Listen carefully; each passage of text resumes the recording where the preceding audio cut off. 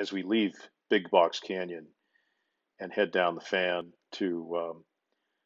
the Dixie Valley Road, we get another awesome view of Dixie Valley and the Clan Alpine Range, and then start heading south along the power line, uh, really uh, straight towards uh, Fairview Peak, which is still almost 30 miles away.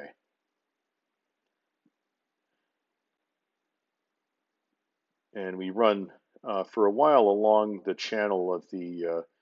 pluvial river that uh, ran into Dixie Valley. And now we uh, head uh, west on U on uh, the loneliest road in America, US 50,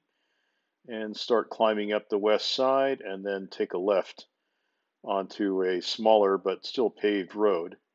for a few miles, and we start heading up Ground Zero GZ Canyon Road towards the Shoal uh, nuclear test site from 1963.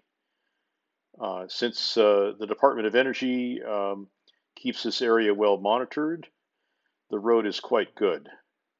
And um, I still wouldn't uh, go up it if there's a flash flood happening, but um, we get right to the uh, monument at the lower right.